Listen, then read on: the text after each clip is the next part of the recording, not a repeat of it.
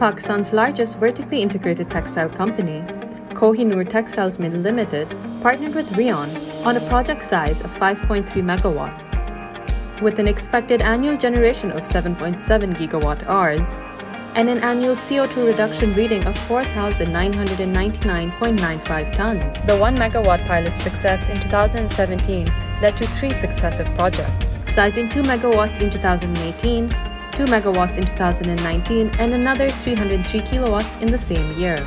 These projects accounted 2,006,575 number of trees saved annually. KTML had previously relied on three power sources gas power generation, HFO, heavy fuel and oil, and the grid. Solar energy has become a priority over the remaining sources as it allows the lowest weighted average of level cost of electricity.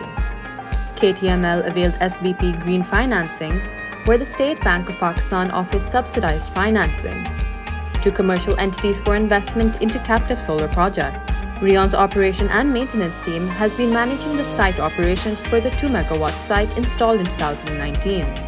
The operations and maintenance service encapsulate a cloud-based real-time visualization platform called Spark.